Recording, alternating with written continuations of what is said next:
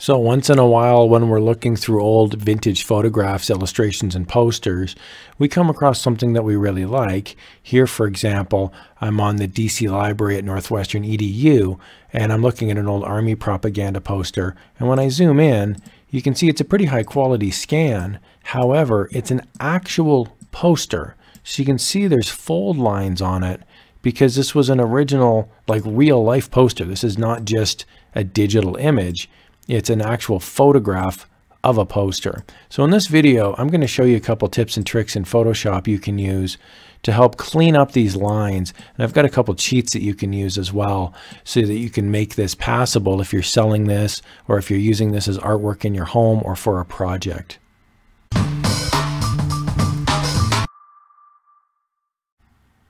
All right, I hope you're having a great day. I'm in an old version of Photoshop. I'm in CS2, which is ancient old. It was probably built by the Egyptians along with the pyramids. But I do get feedback on this YouTube channel that people have older versions as well. And so this is helpful. Now, if you're in a newer version of Photoshop, the tips and tricks that I'm going to show you do apply as well. Now, here's a rookie mistake that people will often use. They'll open their file and they will open up their image so now I'm just working off of my lumber war poster. And as I'm making my changes and everything, I'm just going to save the image. That's one option. I don't want to say it's a mistake, but a, a better way to do it is to create the palette that you want. So for example, 16 by 20 inches, 300 pixels per inch. This would be standard if you were creating high-end artwork for sale on a website. 16 by 20 is my palette size. And then what I'll do is I'll place the image inside the palette. So now I'm working off of my defined space.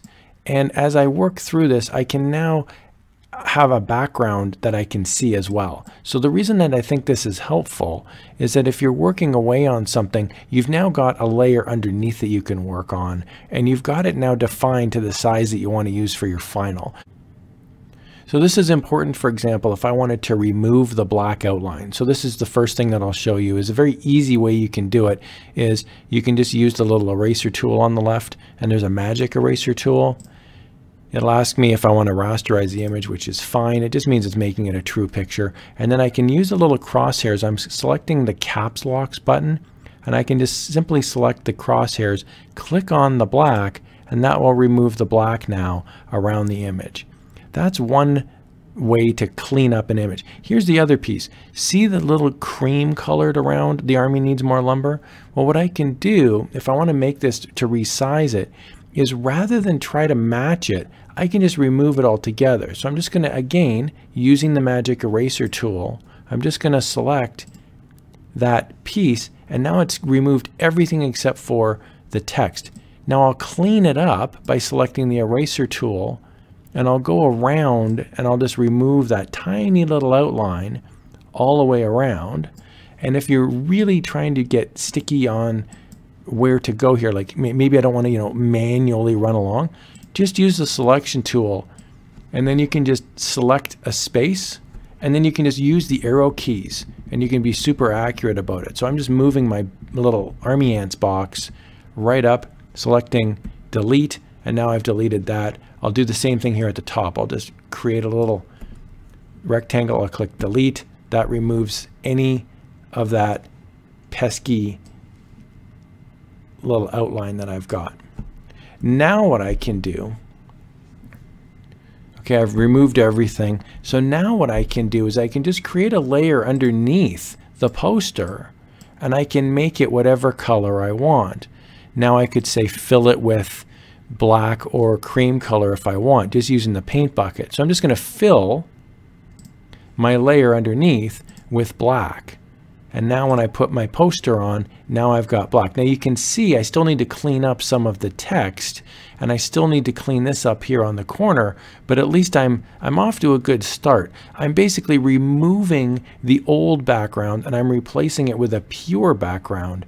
That's one option. You don't have to do that, but that's one option. The other option is you can just select some sort of a cream color and then you can pick that as well as your background. So this is really good if you're making variant posters. Now I'll just go into the actual poster layer and I'll use the magic eraser tool and I'll remove the little cream color inside the text. I'll do actual pixels. I'll scroll on down and you'll see here I've got this little thing here. Now if you're having trouble with this with this eraser, there's a tolerance at the top. So if I make the tolerance too much, it'll remove more than I want. And if I make the tolerance too little, it will remove too little. But I got it sitting at 50, which is my standard, and it seems to be working good. Now, if I wanted to use the actual background, before I delete this last little piece, I'll just use my eyedropper tool and I'll select that. And that gives me the actual background color that I was using originally. And I'll just go to the layer and fill that layer with that color. So now that's the color that I want to use. But see how much cleaner it is? There's no gra granular graininess, whereas here inside the R there is. So I'm going to remove that little piece on the poster and you can see how it, it instantly becomes a bit more clean. Another little tip, I'm not going to do it in this video, but another little tip is when you've got logos, so for example, this is a US Army logo, you may just want to get the old eraser tool out, just completely erase it, zoot, get rid of it completely, and then just replace it with an actual Army logo. So just go online, go to Wikipedia, find the Army logo, and just put it in there. I do that a lot of time with comic books as well. The Comics Code Authority box, this little stamp that goes on old comic books, I just remove it completely and just replace it with a high-res digital copy, and it makes it much cleaner.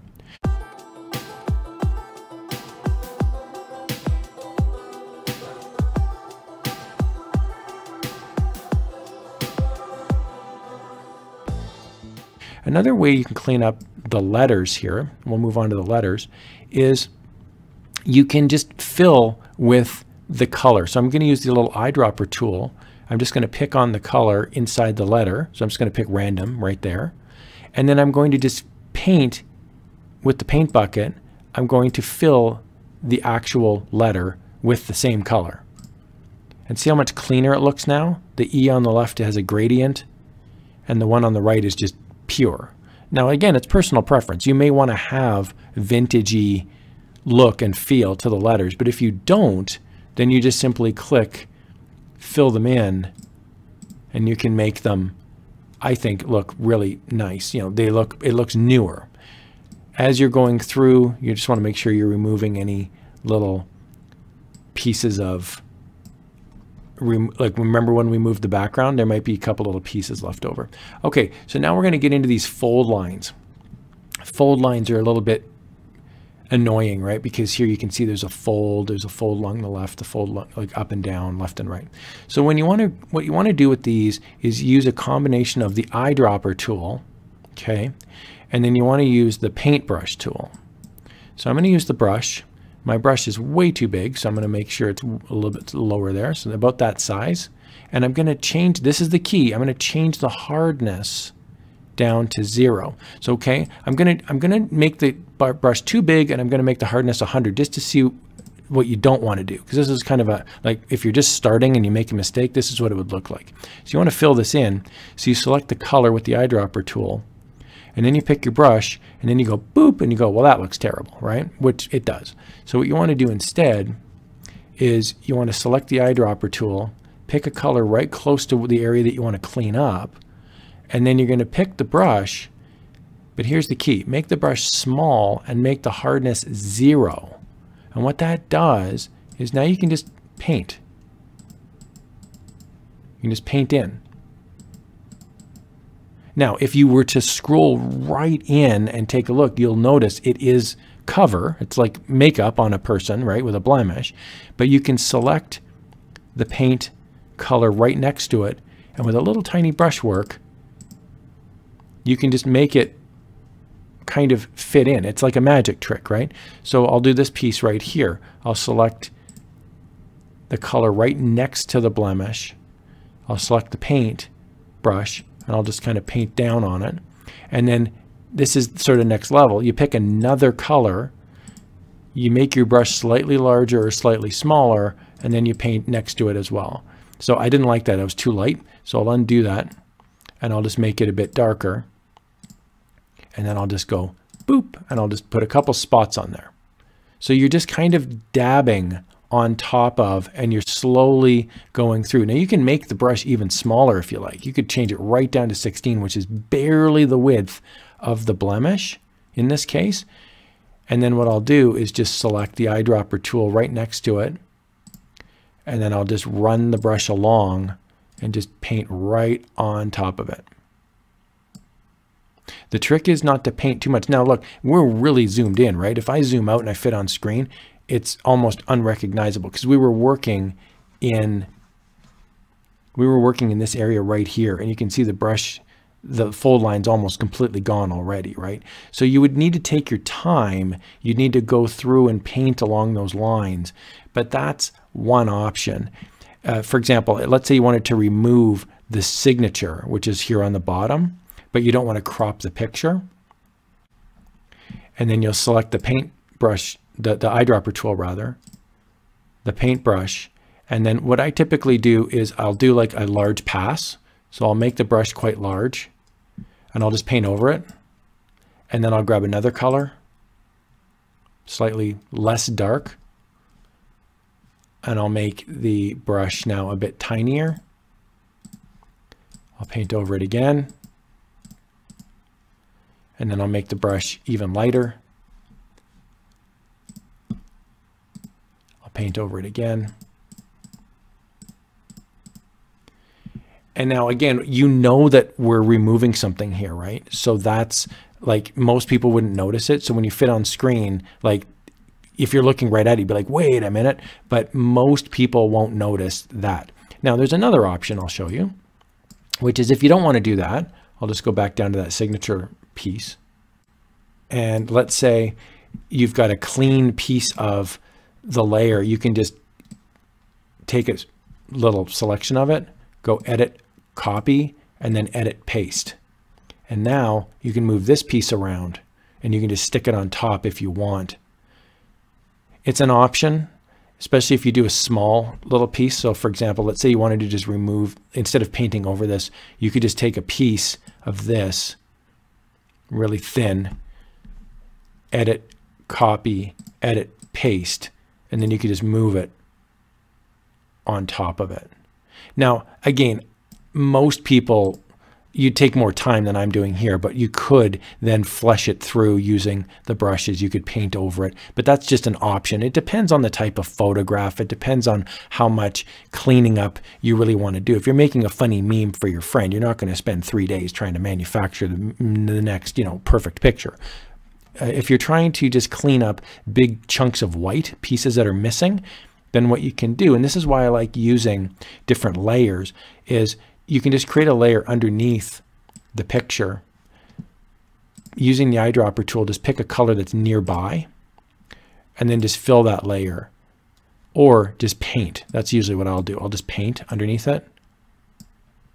So I'll remove the white with the, with the eraser so I'll go onto the war poster layer and I'll remove the white. So now it's clear. And then I'll just paint underneath it with a layer. So that's one option. You can also paint, so you can paint over it, you can paint under it, you can even paint right on it. The key when you're painting is to make sure that the hardness is zero. Because if the hardness is 100, it looks ridiculous, right? But if the hardness is zero, then it kind of looks like spray paint. And you can actually get away with quite a few effects that when you zoom right out, it, it, doesn't actually look that outrageous. You know, when you're looking right at it, it's you know, like you're staring at like a blemish. You're like, oh my God, there it is. But most people won't notice it because they're looking at the overall picture. So I hope you found that helpful. A couple tips and tricks. I do have one bonus tip as well, which is if you're not happy with any of these techniques, if you've got a really beat up old photograph and you'd like to make it, you know, cleaned up, but you just can't, the other option is to go in the opposite direction and just make the entire photograph super vintagey distressed. And I'll show you how to do that right now. Okay, so I'm going to do a whole video about how to do distressed looks on photos and images, but here's just a real quick 30 second overview. So we've got the image, we're not happy with these fold lines.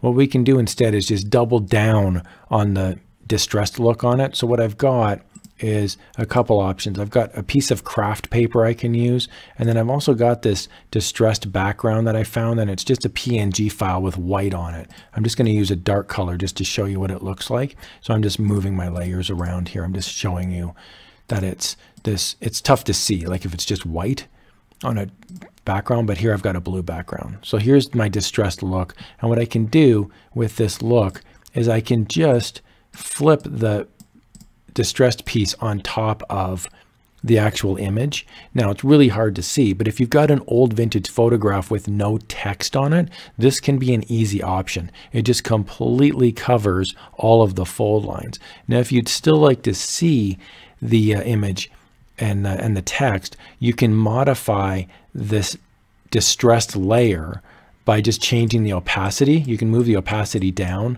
and you can make it so it's like that, for example. Now, again, I'm not a huge fan of this. This is a last resort, but if you've got a photograph, this can be a nice way to do it. The other option is you can also just have this completely white and completely 100%, and you can just duplicate the actual underlying layer, the, photo, the picture, and you can just move that copy above and then change the opacity on that as well. So it kind of gives you the same effect, but it's a little more white. So here you can move the opacity. It's kind of like you're doubling up the layer. So again, you can always monkey with this stuff. This is just one example, one photograph. But if you're looking at only removing those fold lines, this can be an option. It's not ideal, but it might work. Okay, I hope you found those tips and tricks helpful. Uh, as always, feel free to subscribe to the channel, like, comment. Love hearing from you guys. Thank you so, so much for watching.